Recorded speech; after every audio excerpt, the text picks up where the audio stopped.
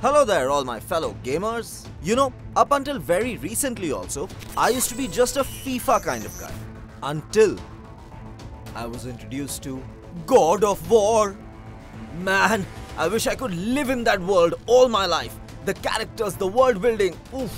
Now na, I can't get my hands off the controller. Most days you'll find me with my eyes wide open, sitting in front of my PS playing this iconic game. As a God of War pro, I have a few tricks and tips up my sleeve. Come, I'll share them with you in this video. So, fellow gamers, brace yourselves. Explore surroundings in main story mode. Guys, let me tell you something. Thoroughly exploring the vast realms of this must-play action-adventure game is paramount to finding as many valuable items as possible. Each realm and biome is loaded with hidden relics, chests, scrolls, artifacts. All of these relate to events and side quests. However, let me tell you, a big mistake that these newbies, like that Noob Master 69, they make is trying to explore remote areas of the map that simply cannot be accessed until the main story mode is complete. Throughout the map, players will encounter a slew of green doors and smoke-filled air holes on certain structures which mark a locked area.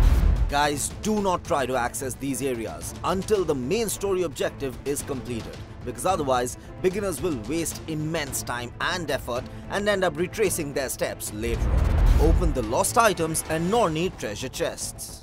Guys, when you're exploring various realms of this game, sometimes you will fail to see the valuable items that you can pick up after combat. Luckily, Brok will lead players to a treasure chest early in the game that contains all the items that a player lost along the way. This is your golden chance. You can then access the chest and obtain whatever inside by approaching the glowing blue treasure chest located in each forge. And and, a very important point. Beginners should always keep their eyes out for the Nornir chests, which requires some pesky work to locate upon but are definitely worth the effort. Located in most realms, the Nornir chests usually require destroying nearby runes through various methods. Every beginner should make the effort to open these chests as they will permanently upgrade their health and rage.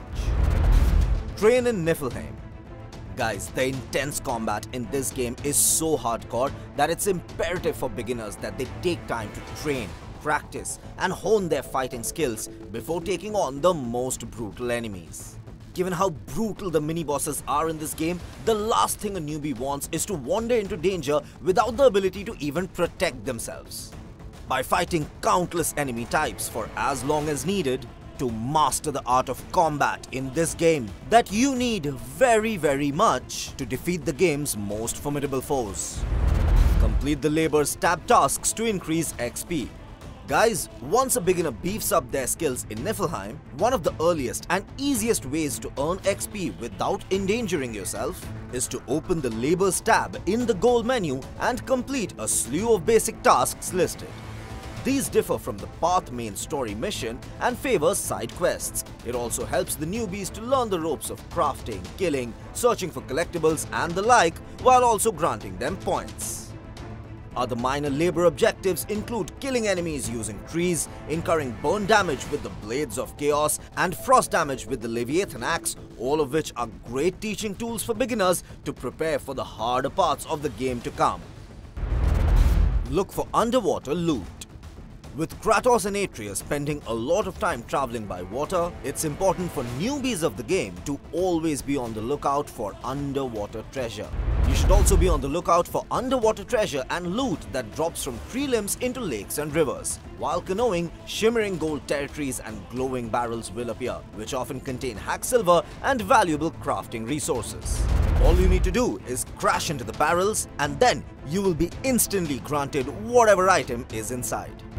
The golden shimmering areas require pressing circle to pick up the loot, which also includes stat boosting dewdrops from trees that should always be collected by beginners. My fellow gamers, trust me when I say this. Once you know how to play God of War the right way, a whole new world of possibilities is gonna open up for you. The game gets more interesting and you'll find yourself winning at it more often, making the experience so much better. And now question time for the pro gamers of God of War Ragnarok. Do you have tips that I could use to up my game?